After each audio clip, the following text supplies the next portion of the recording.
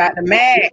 Yes, ma'am. How are you? I'm good. How are you doing? Doing great. Doing great. Good to see right. you. Good to see you as well. Yes, got a little bit different setup this week.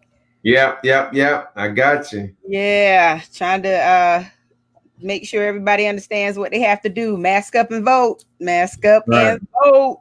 November 3rd can't get here fast enough. Exactly. But, uh, how are you doing this week? Doing great. Busy, busy, busy week. Um, a lot of stuff going on. Um, mm-hmm. but uh doing good. Thank God it's Friday. Yeah, absolutely. TGIF. Absolutely. Yeah. So uh yeah. it's it's I don't know, seems like it was a little crazier this week for whatever reason. And um uh, I even found myself being a little busier this afternoon than I anticipated, and so uh, I. But I know that we are uh, definitely motivated to to bring the weekly updates as yes. we've been doing for the past few months. And uh you know it's it's i don't know it seems like it's a little um i don't know the energy is a little different today dr mack. I think it's because of some you know what we know is happening with the numbers and reporting right. and and all that good stuff. And you know so it would be great to hear from from our viewers today. Thank you so much terry dow mclean for tuning in. I'm glad you caught it today too. Uh, make sure you share it and um but it would be great to hear from the viewers as far as you know their thoughts on uh you know how they're feeling about everything. Uh classes start for a few a couple of the colleges next week actually monday. And then uh leap program has already started in Horry County for some students. Yeah. and uh i think we're still on point to begin september 8th in Horry County. But uh not quite sure of you know what is set in stone right now. We're still working on trying to get a, a another guest from Horry County School District to come on come on board and, and tell us a little bit uh, uh, to kind of give us updates, I guess, on, on what we can expect. Uh, but today, of course, we are going to go over the COVID 19 updates and uh, we welcome your questions and your comments. Let us know, uh, you know, where you are, where you're watching from, and what's going on in your area and you know we'll definitely make this as lively a conversation as possible. You know you're going to get the truth from dr mack and that's what i appreciate about uh, being with him every single friday at four just talking about what's going on with covid-19 and uh, so dr mack i know you normally roll out with a few numbers before we get to the slides so go ahead and, and right. make it happen. Well yes uh, um, glad to be here april again uh, and you know, really, um, we'll kind of start the way we're going today. You know, we're gonna hit the numbers like we normally do, and then we're gonna hit uh, some highlights, some points on what's going on, and some observations that I've seen based off of the numbers. And then from there, we'll kind of open it up to questions uh, and see if we can have a little bit more time for questions if, if, if there if there are the questions there. Mm-hmm. So numbers wise, uh, worldwide in the last seven days, the total number of cases have gone from around 21 million to around 23 million number of cases uh, worldwide in the past week, 2 million increase. The number of deaths have gone from around worldwide, have gone from around 760,000 to right at 800,000 deaths worldwide. In the United States, in the last week, the number of cases have gone from 5.4 uh, million to 5.7 million. So around 300,000. The number of deaths have gone from 171,000 to right at a, a little over 178,000 in the last week. So that's about 7,000 more deaths in the last week. Um, South Carolina, the number of cases have gone from 104,000 cases to a little over 109,000 cases in South Carolina. Mm-hmm. And the number of deaths in South Carolina have gone from a little over 2,200 to approximately 2,500 deaths in South Carolina.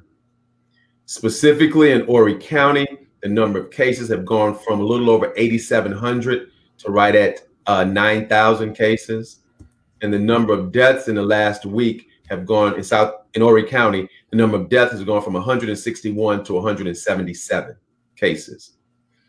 Georgetown County, um, the number of cases have gone from 1,500 to uh, to 1,630 uh, cases, and the number of deaths in Georgetown County have gone from 25 to 33. Uh, Marion County, the number of cases have gone from 575 to 625 cases, and the number of deaths in Marion County have gone from 14 to 17. Hmm. Okay, that's kind of where we are right now. Now, there's some observations on here that I'll get to um, in a little bit, but um, we can start with the slides right now. Okay, all right. Share your slide deck and. and again, if you have any questions or comments for us, please uh, feel free to post them and we would uh, definitely talk about it. Okay. Yeah. So as I said earlier, this kind of is, a, is more of a schematic on what's happening um, in the U.S. Um, as we see, um, we did hit a hump up definitely in the month of July, and there is some appears to be somewhat of a of a dropping off. However, you know, as I'll say in several slides that we'll see, the, the amount of testing in a lot of places in the United States has slowed down. Um, and we'll talk about that more now and more in a minute. But I just want to kind of show this schematic so we can just see exactly what's happened. Even though it appears the numbers coming down, we're not quite sure what that means. Is it because less people are testing? Is it still because it's getting taking labs longer to get the results back? Mm-hmm. Um, or is it because the numbers are actually dropping off? Only time will really tell that. But if we see we're still higher than we were back in March and April and May and June. Okay, next slide.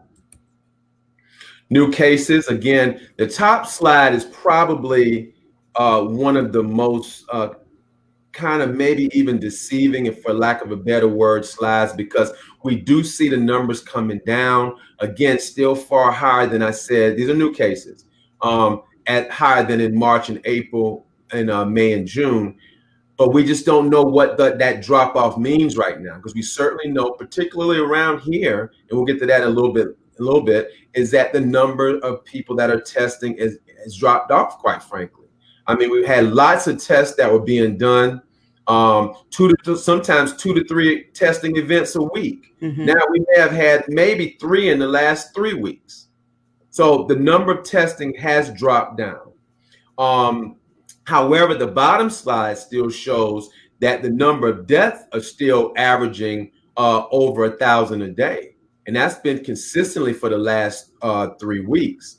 Now, certainly back in April and May, when those numbers of deaths were really high, that's when New York, New Jersey, uh, Illinois, Louisiana, those states were getting hit extra hard. Um, and we see that did come down, but those numbers are still up and there's still over a thousand deaths a day. Hmm. In other words, you know, um, there's a couple days, you know, one day specifically we had 1,500 deaths. I mean, in a day. I mean, that's eight 737s crashing. So so that in one day. So mm. that's really significant. You're still talking about a thousand people a day dying. So again, that's significant. Next slide.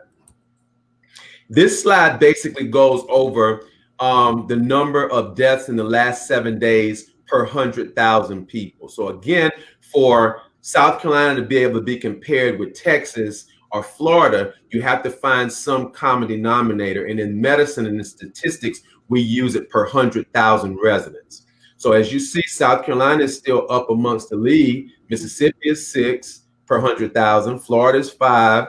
Louisiana five. South Carolina's right there at 4 mm-hmm. So that is still a significant amount compared to a state as small as South Carolina.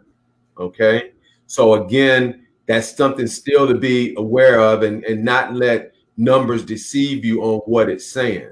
Uh, you can get a number to say anything you want to, but I'm just giving you the real story on this. And when you when you compare it to a hundred thousand, that really kind of makes you compare apples to apples, and you mm-hmm. see what South Carolina is when that variable is taken into play. Next, South Carolina, as I said earlier, um, there is um, over 100,000 uh, cases, total cases.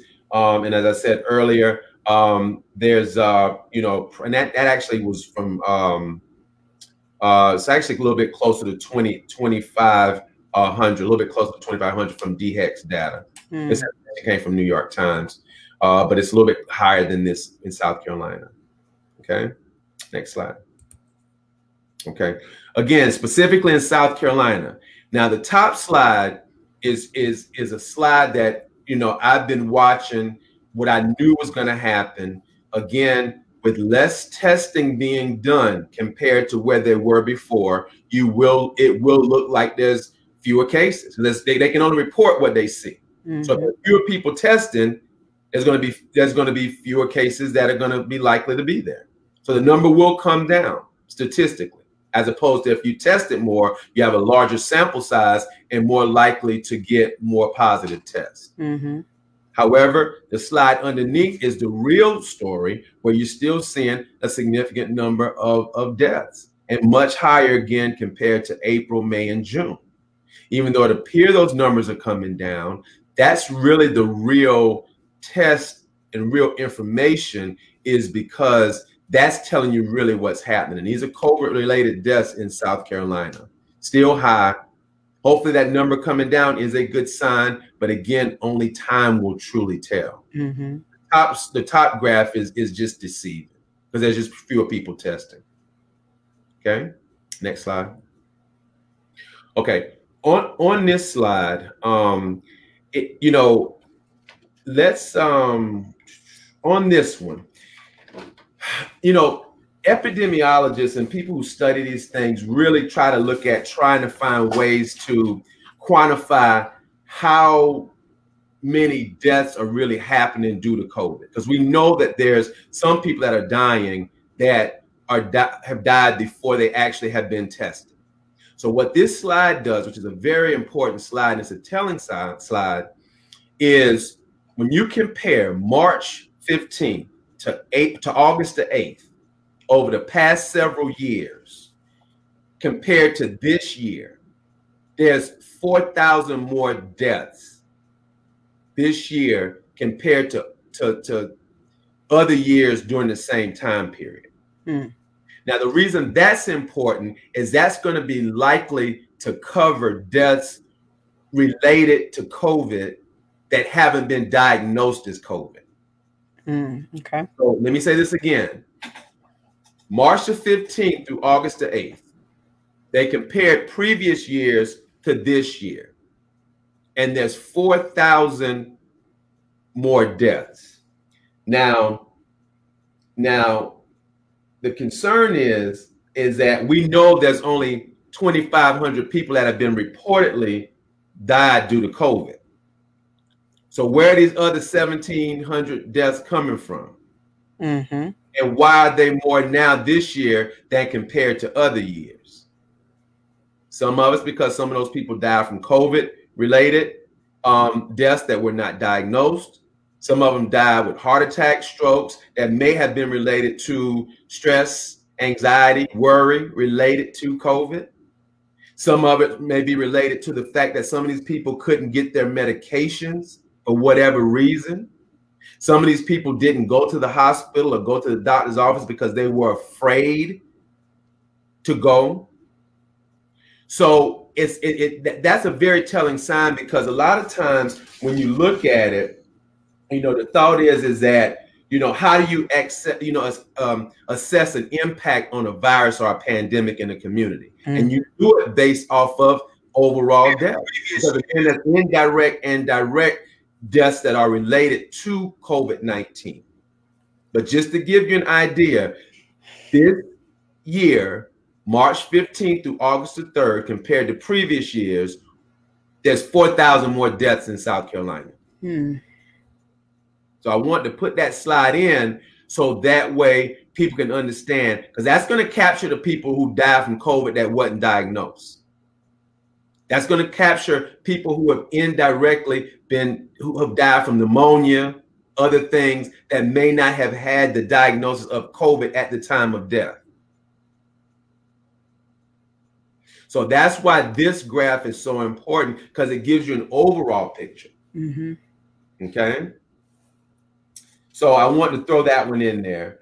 Um, and for most places, the numbers are significantly high. So let me say this nationwide, there's been 224,000 more deaths during the same time period.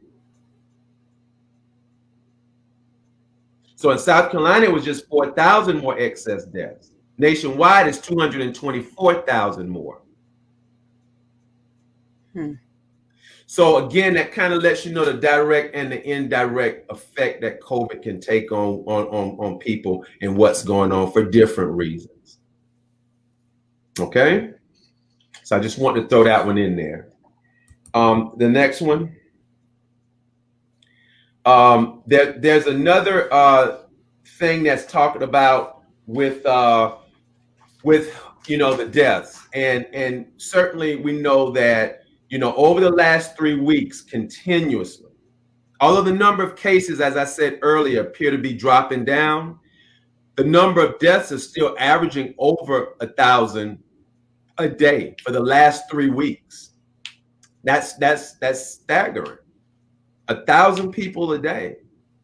I mean, you know, that are dying. Mm-hmm. So I mean, you're talking six, seven, seven thirty-seven seven, 737 aircrafts. Crashing a day.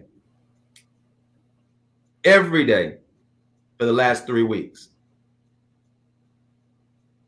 So I give these numbers to give them not to create fear, but just to give education. These are the numbers that we're talking about. And when you see numbers where it appears that the number of cases are going down, well, that could just be a factor that it is not tested.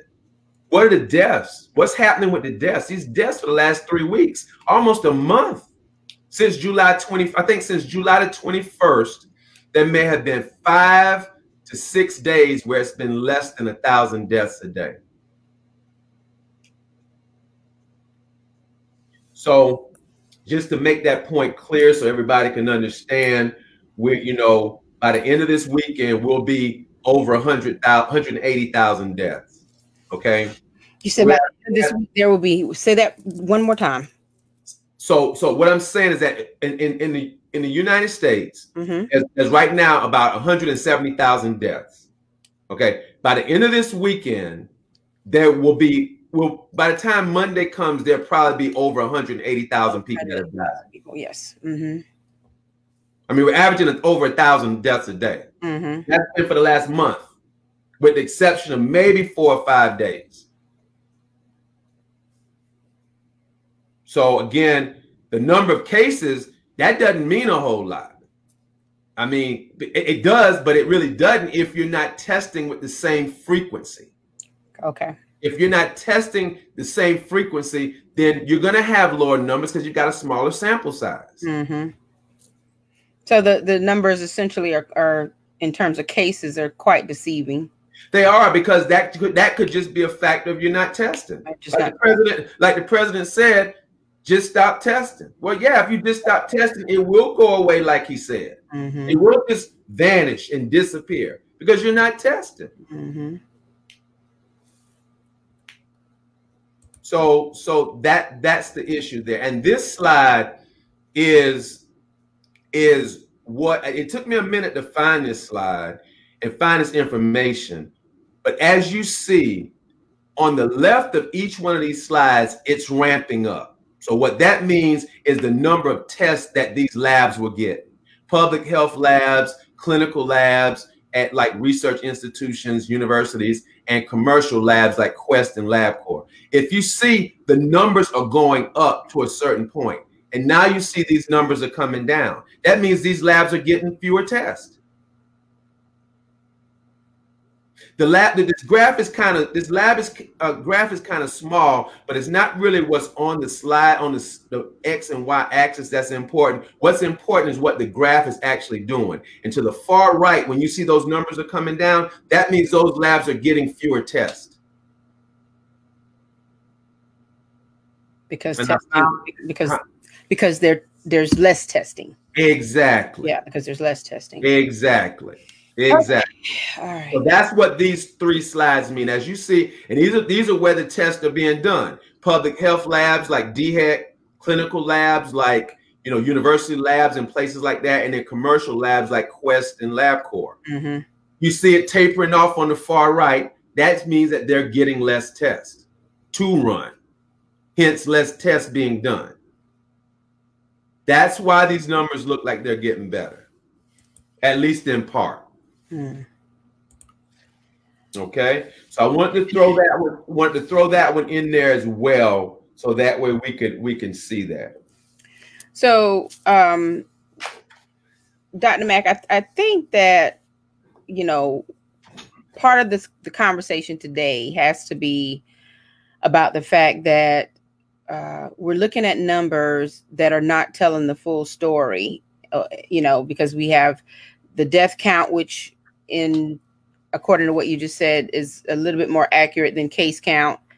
Um, and it's it's very disheartening to know that we have to live in a time when you know deception is the name of the game, and especially since um, we're already having issues with people not wanting to test, and the more you hear about the numbers being fewer or or you know that they're dropping or whatever the case is i think it instills something in the psyche that says with the coronavirus is going away and that's certainly not the case. So eh, the eh, responsibility is where i'm going. Right. Um, i guess without that how how can this happen how can the testing happen without direct support from the federal government? Is it possible well, I mean, there's a federal uh, level, there's a state level, mm-hmm. and one of the questions is, is that you know a lot of the places around here were testing so heavy until I don't know they may have exhausted what supplies they have, or they may have said, look, we're not going to test as much now because we know in six weeks we'll be back in cold and flu season and we may not have as many tests. Mm-hmm. So we need to hold back some without using all of it because we don't know um, whether or not we'll when when we'll get more tests. Mm-hmm. Certainly, the point of care testing, where you get um, answers on the test, are becoming more and more utilized. Again, they're not as accurate as the nasal swab test, but it's better than nothing, and it gives you um, uh, information pretty readily within 15, 20 minutes in a lot of cases. Mm-hmm. The issue is, is that there are people that have gotten tests here in Conway that it's taken over a month for them to get their results. And some yeah. people have not gotten the results yet. Correct. Absolutely correct. Mm-hmm. So, so the concern, the concern is, is that there's so many factors involved here. It's a political part to it. Um, it's a it's a supply and demand part to it with the act with the you know, access to these tests. Still, the point of care test will be used, like utilized in offices, but there's a big demand for that. So places getting out, i.e., in the doctor's offices, have not been as, as, as readily available and accessible as we thought it may have been. Um, so there's a number of factors that are there, but I guess what I'm trying to say ultimately is when you see stuff that the numbers are dropping down, people just need to be aware and still be on guard that COVID is still here. Mm-hmm. There are various factors as to why they're saying these numbers are getting better, you know, whether it be school, work, political. I mean, heck, we even got Labor Day coming up. So I'm sure that factored into it to some degree too. Mm-hmm. So, so you know, with people trying to get people to come to the beach. But it when you see a drop happen like that that fast, you get really concerned about the numbers. Mm-hmm. You knew there was going to be an issue when the when the president said that hospital data needed to go away directly from the CDC to Health and Human Services in DC. So we already knew the hospital data was eventually going to get a little muddy. The CDC readily admits that they don't have that data as accurately because they don't get the data directly anymore. Mm-hmm. Um, wow. But again, the number of the amount of testing. I mean, I, I, I mean, you see it. Mm-hmm. Do you hear about as many community tests as we've had? No, I, we're having problems finding it. Exactly. Right. I mean, I, people right. text me all the time wanting to know where right. retesting happening, and you we can't didn't find do, it. We, we, didn't have to do that much in in June and July, did we? Correct. Right. So that's the thing is that they're testing less. I'm not saying they're not testing, but they're they're testing far less than they did mm-hmm. that, and was done um, in June and July, and that's a fact. Mm-hmm. Now we're coming up on, as you mentioned before, cold and flu season, and um, you know, just trying to envision what that is going to look like with a layer of COVID 19 on top of it. Uh, will it be? I'm sure that the narrative will be even, um, even you know, worse come cold and flu season from certain entities in terms of dismissing any coronavirus numbers as just the flu or just colds or or whatever. So, um, you know, Doc, what aside from just making sure that we're still following the numbers as, as closely as possible, uh, and and knowing that what we're hearing is not the full story, what can we expect when this thing hits cold and flu season? What what do you in you know predict it will look like? I envision that you know if we're not continuing to be as vigilant with these masks over the next uh, two to six, two to eight weeks, that the numbers are going to continue to go up. Um, I think that that you know it's going to be tough in a lot of cases to determine whether or not you know it's common cold, flu, pneumonia, strep, uh, or COVID. Mm-hmm. I mean, mm-hmm. patients are going to come in with similar symptoms, and a lot of these symptoms do overlap mm-hmm. if you have symptoms at all. So, you know, again, it's going to be it's going to be an in- interesting to say the least. Um, you know, I, I'm just I'm concerned with people who have chronic medical conditions. I'm concerned with people who um, may have to decide whether they're going to pay their bills or get all of their medicines. Um, I'm concerned, and that that leads to another point about these. I've got a number of patients who are having a heck of a time getting them medicines that come through the mail. That is is absolutely a travesty. It's absolutely a travesty. Right. And, and you know, I've got a number of patients as well as colleagues of mine, physicians whose patients are are are, are not getting their medicine timely. I have one colleague that that's um that told me that um her patient was supposed to get insulin shipped on dry ice on a Friday. She didn't get it until the following Thursday. The ice was melted and the insulin was bad. Oh my gosh. So not only does that did that have to be thrown out, but the person didn't have insulin. So they had to go to the pharmacy and pay a higher price because a lot of these people's insurances are tied to benefits when they get the medicines through the mail. Mail. Mm-hmm. Mm-hmm. A lot of times it's it's usually cheaper, if not free, um, uh, when they get it through the mail as opposed to going to the pharmacy specifically. And a lot of times that's just the way the medicine benefit plan is set up for the insurance. Mm-hmm. So again, when you have a hard time getting stuff through the mail, it's going to be tough. And so, you know, that's a big concern. And again, as it gets closer to election time, unfortunately, that's probably going to get worse. Well, guess what? It's cold and flu season. Mm-hmm. You got mm-hmm. diabetics that aren't getting their medicines like they're supposed to. And it's tough. It's going to be tough. It's going to be tough. Right. Well, uh, I mentioned uh, as we were starting the show that, you know, uh, school is starting, colleges are uh, restarting um, even as early as this coming Monday.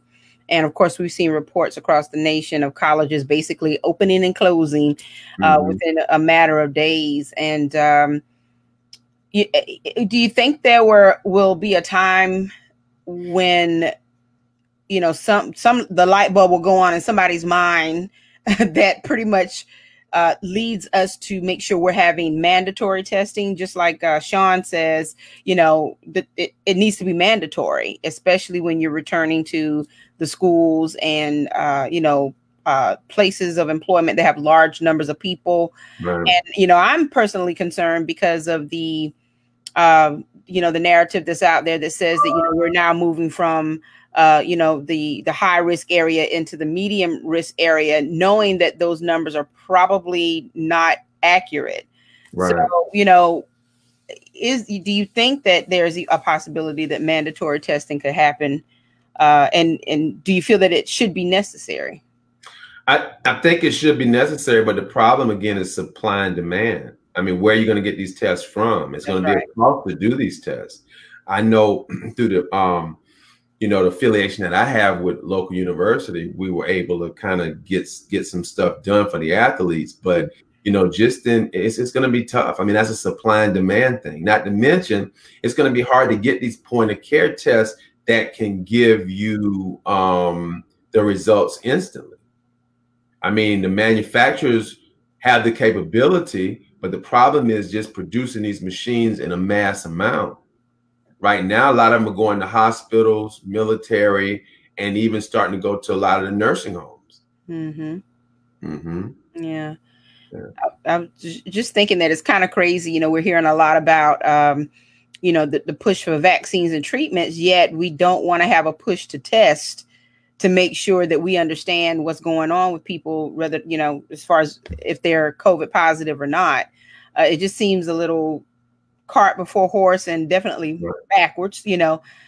Uh, but, um, you know, I guess all that we can do is, is stay vigilant and, you know, make sure that we're doing our part. Uh, you know, in the past few days, I can say that, you know, everywhere that I've been, uh, actually, with the exception of today, uh, I, I, I, had to go to a local retailer, and you know, just about everyone in this particular store had on masks, except for some young people who came in. So that you know makes me a little nervous, especially with college restarting and all of that. Right. And um, right. you know, I've heard that there's some establishments in Horry County uh, and you know their business is through the roof and that's probably what they want but i'm i you know venture to believe that they're people probably aren't social distancing they aren't doing the you know the things that they're supposed to do even if they want to get out and do things so right. um you know it's very possible that we're going to see some large resurgence in in the number of cases but will we ever know? Right know? i mean you know never know.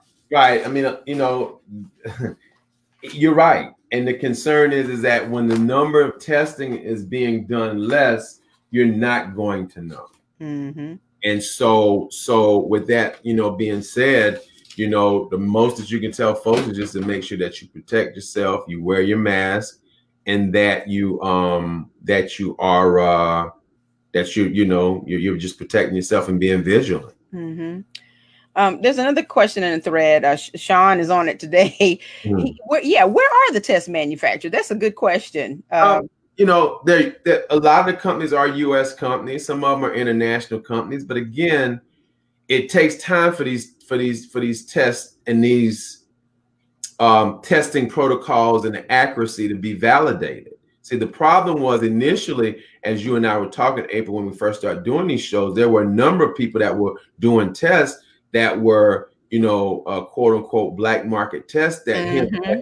pulled off because they weren't you know they didn't meet the mustard of being uh, sensitive and and reliable on what they were supposed to measure. Mm-hmm.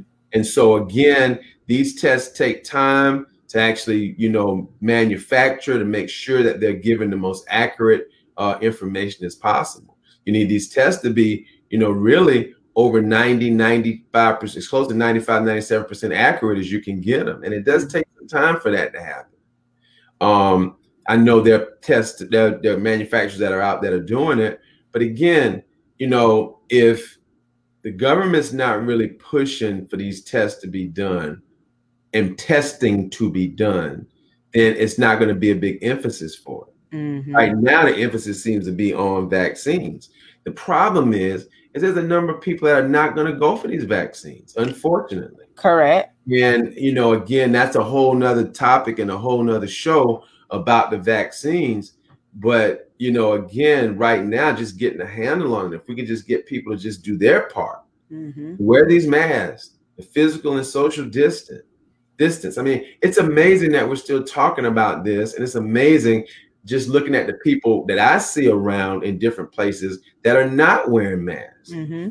So how how how can how can these numbers have dropped off when I haven't seen that many more people wearing masks? Mm-hmm. Mm-hmm you know um so so the, the the thing about it is is just you know being you know vigilant being you know adamant and just being persistent with what you're trying to do to protect yourself and your families mm-hmm.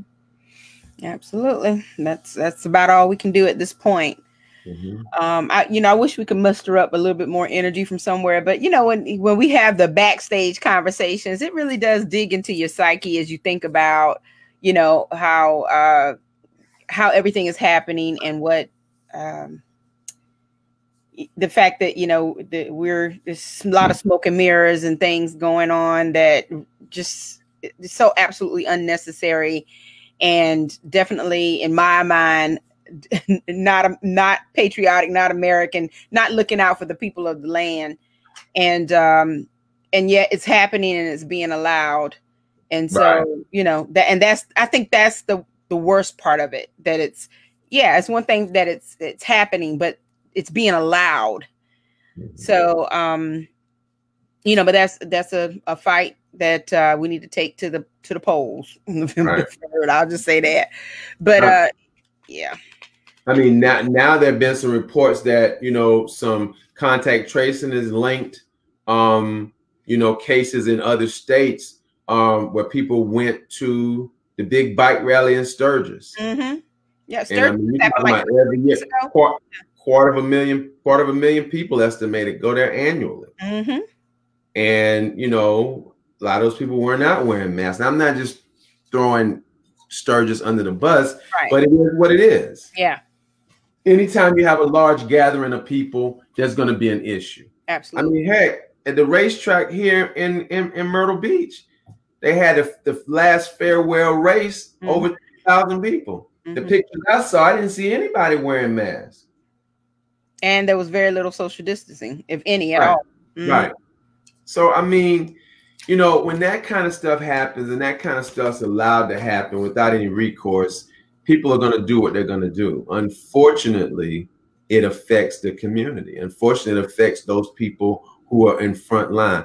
I've got now over 100 patients with COVID 19. And, you know, it's, it's just like, it's amazing to me. Now, thank God 99% of them lived, 98% of them lived. But, you know, again, the one that passed away happened to be a relative. Mm-hmm. So, I mean, you know, it's, it's, it's, it's, it's worrisome that this stuff is happening during the summertime. Mm-hmm. came out, I was like, oh, it won't be a problem during the hot months, right? But we hadn't even gotten through a, a, a winter yet with knowing about COVID. Now, That's probably right it probably was here in last winter. We just didn't know about it. Mm-hmm. And that's my belief. Mm-hmm. Right, right. So, so, and I and I mean, I, have had I had patients last winter towards the end of winter that came in and they were sick, but everything I tested them for was negative. Well, we didn't have COVID testing. We didn't know about COVID. Correct. Then. Correct. So, so, so looking back on it, in hindsight, certainly I believe it was here. Certainly. Certainly, going back just as a refresher, um, the cases that were seen on the West Coast appeared to have more of a variant from China. The cases that were from New York had, you know, appeared to be more of a European variant. Mm-hmm. So again, what does that mean? It means it was probably here for a lot longer than we thought. So you know, again, you know, it, it's it's just one of those things where we have to be vigilant COVID's not going anywhere. I don't think it'll be as as deadly or as destructive. Eventually, those numbers are going to go down. Mm-hmm. But again, in 2022, 2022, we're still going to be talking about a COVID 19 vaccine. Mm-hmm. I think this will morph into just like we're talking about a flu vaccine, there yeah. will be a COVID vaccine. Just like we're talking about a pneumonia vaccine, there will be a COVID vaccine. A hundred years ago, we had the Spanish flu, which which sparked, you know, vaccination programs. The thought was once a flu vaccine was um, introduced, which was introduced in the late 30s, early 40s, that there would be no more flu. Mm-hmm. We're talking about the flu 70 years, 80 years later. We're still talking about the flu. Correct. So I don't think COVID's going anywhere. I don't think it'll be as deadly. I don't think it'll be as destructive. I don't think it'll be as disruptive 10 years from now, but I think there will still be talk about COVID. Well, uh, if you have any questions or comments, uh, you know, Dr. Mack and I just kind of filtering through our thoughts right now. Uh, you know, no special guest today, no special guest topic. Uh, we are still working on getting a, a, a, guest from Horry County School District to come in and, and, talk to us, and hopefully we can do that uh, maybe in the next week, uh, right before school starts. And um, you know, if there's any other information that you all would like for us to share, we can do some research and uh, find out as much as possible. But uh, you know, pretty much what's happening now is that um, you know he's reporting what he can report, uh, considering the fact that there has been uh, you know a, a, curve on the the numbers and the way they're being reported. So uh, you know that's that's real. That's the reality of it all. Uh, I have a, a, couple of announcements that I want to share, community announcements. Dr. Mattis, thank you for taking time to inform us. One of the Facebook users said, and yeah, I mean, it, we're going to come whether we have, you know, five minutes worth of information or 500 minutes worth of information. You know, it's just, right, right. it's just something that, you know, we just need to do. And, it, and I don't think it's, um, you know, it's not a problem at all. It's just, uh, you know, we've been taking this in for so long and you would hope that there would be a little bit more light at the end of the tunnel but uh, you know, it appears that it's getting foggier and foggier for for a number of reasons, not because we're not reporting what we know. So, uh, but uh, there's a, a great program. I'm just going to switch gears a little bit. There's a great program that's happening uh, over um, the weekend and into next week. And let me pull up this information here and uh, want to know well i would like for everyone to know about the program because it's it's real important that our young people are involved with these programs that are being put together by uh, people in the community who you know just want to make sure that they are exposed to a lot of opportunities to uh, grow in in education. And so optimism preventive services is having a virtual career day featuring boeing on uh, August the 26th, and I believe that's a Wednesday, uh, from 11:30 to 12:30. So it's it's one hour. I think they're calling it the Power Hour, and basically, uh, Boeing will be talking to any of the participants uh, about STEM, so that science, technology, engineering, and math.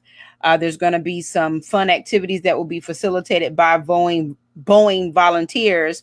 If you are interested and want to register your student, your young person uh, who's in grades 9 through 12, so that's freshmen to seniors in high school, uh, I'm going to post the flyer to the thread when we're done. Uh, or you can get in touch with Denise Chapman and she's the uh, president and CEO of Optimism Preventive Services, and she can give you more information. But uh, it's free; it's a free program, so you definitely want to make sure that you sign uh, your your your young people up for this amazing opportunity. Uh, also, what's going on this weekend? Uh, the Eddy Lake Cemetery Cleanup Project is happening on Saturday uh, afternoon, and if you want more information about that particular program you can contact uh, Kevin or Gina Mishu, and they will be able to give you more information.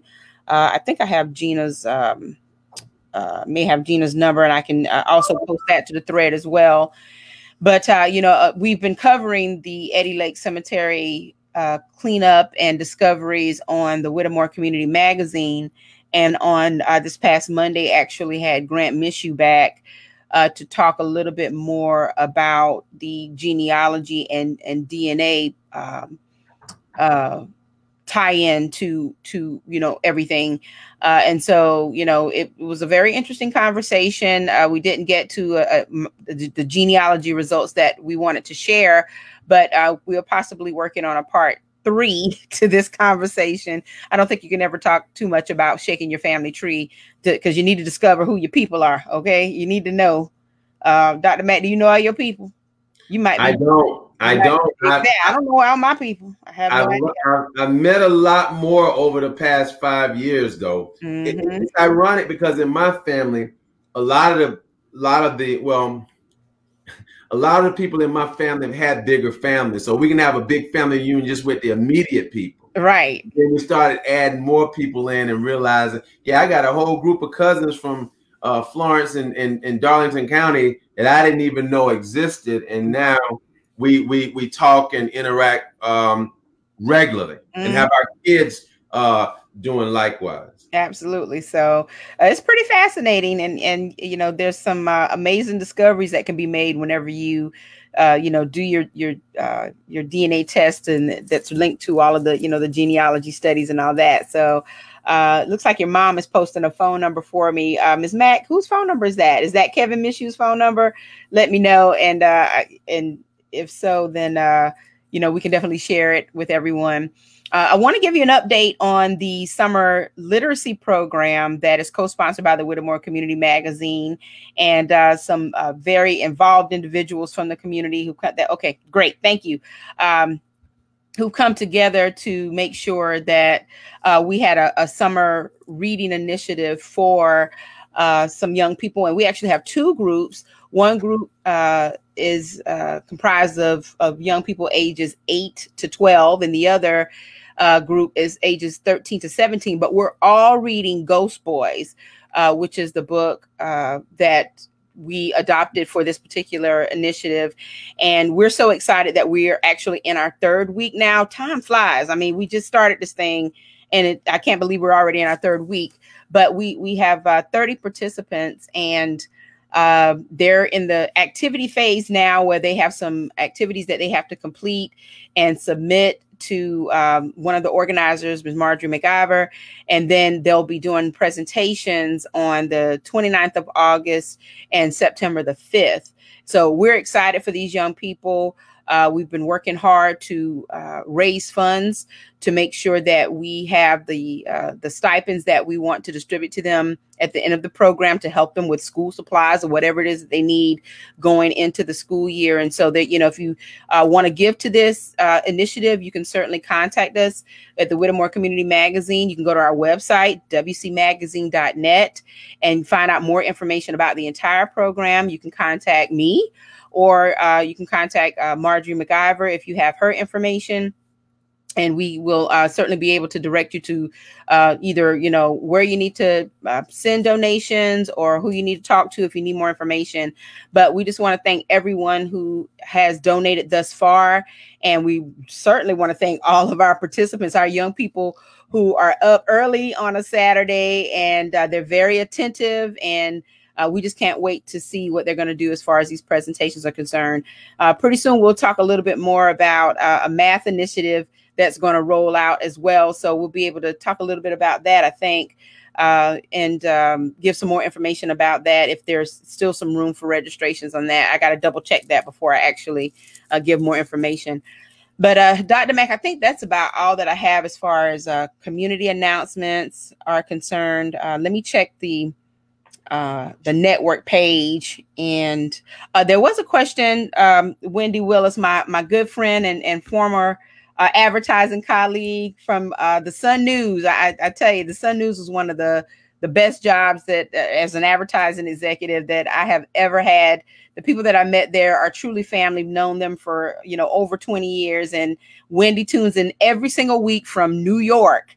Uh, to and she she's fabulous, you guys. Interior design just whiz guru or whatever. But um, Wendy came in a little late and she was asking about the Horry County numbers. Okay. So, um, if you will, uh, while I'm looking for this other information, uh, her question was uh, what are the numbers in South Carolina and specifically in Horry County?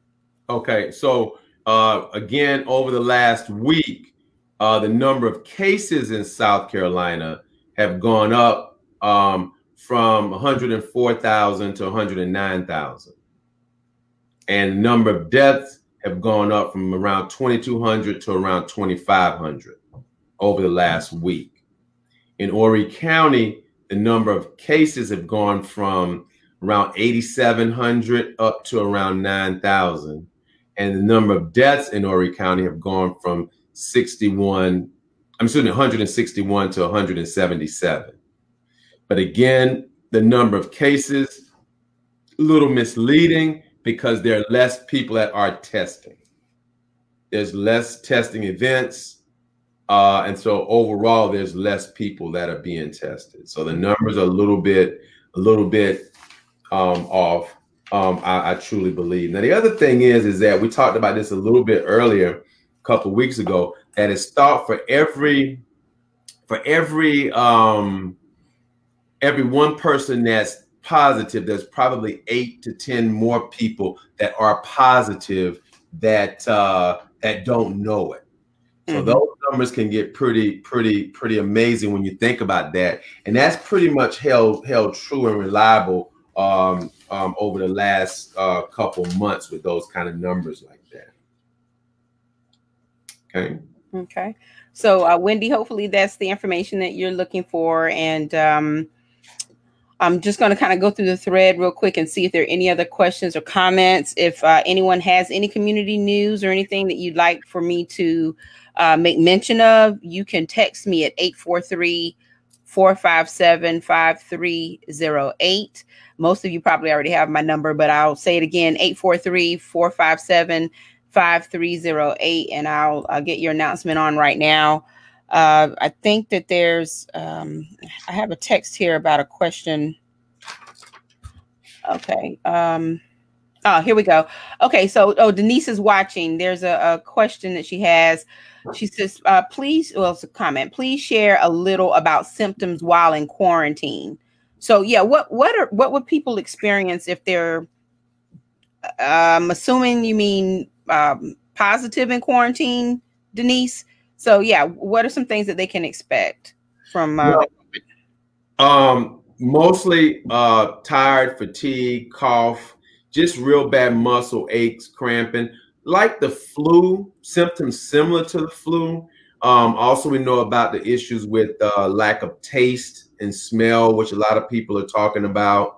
Um, but just generalize, uh, the best I can say is some people will say, um, I feel like I've been hit by a Mack truck. I had two people actually who I who I saw today. Um, that was their words exactly, and that's a pretty common analogy that uh, that I will hear is just saying I feel like I've been hit by a Mack truck. Mm-hmm. Tired, fatigue, run down, no energy, and things like that. Okay. Okay. Appetite being down, some shortness of breath. A lot of it too, though, and that's a good question, Miss Denise. A lot of that too depends on what other medical problems people already have. That makes sense. mm-hmm. Right. In other words, if if a person has a history of asthma, emphysema, they're likely to have more um, respiratory symptoms. You know, if it's a heart patient, they're likely to have some more sim- symptoms similar to cardiac symptoms. You know, if you've got a person that has diabetes, they're likely to have more fluctuations in, in, in, in their blood sugars hmm. and symptoms that go along with diabetes. So, because there is no cure for COVID, there's no real treatment for COVID, what you're doing is basically treating the symptoms as they come up. The symptoms typically go along with what symptoms and what conditions you already have. Mm-hmm. Okay. And that was one question, I guess, from Miss Wendy that asked, and I was kind of hitting on this. So, for example, um, if there's reported 9,000 people with um, with COVID in in um, in Horry County, there's probably 55 to 60,000 people that actually have it estimated. So these numbers are coming from CDC. They're coming from World Health Organization. They're coming from Johns Hopkins. They're coming from the Department of Informatics at the University of Washington which looks at biostatistics information, that that's the kind of numbers we're looking at.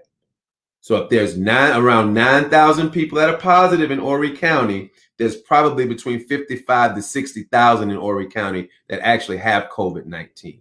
Again, a lot of these people are younger people. A lot of these people are people that are asymptomatic, are very minimal symptoms.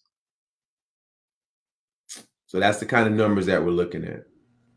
Um, I just found, and you guys may hear my dog barking in the background. So I think somebody's knocking at the door, maybe thunder, and I don't know what she's barking at. But anyway, uh, so just excuse her.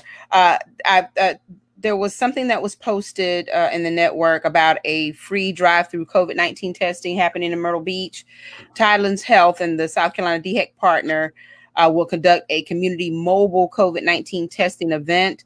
Uh, testing is set for 2 to 5 p.m. every Friday on the Myrtle Beach campus of Horry Georgetown Technical College. Right. Each event will accommodate 250 people. Right. You'll get a free test without leaving your car. Right, and and Tidelands has done a wonderful. They have. Job. They've done a fabulous. I mean, I, have I've had the opportunity to work with uh, with Dr. Harmon um, and Amy uh, at Tidelands, and they've been wonderful to work with uh, with some other projects that I've been working with specifically through Coastal. So I have to give them a shout out and um, and thank them for that. Um, but again, even with their numbers, I mean, because they were doing they were doing testing at the Pelican Stadium, where mm-hmm. I think they were doing over a thousand people. Mm-hmm.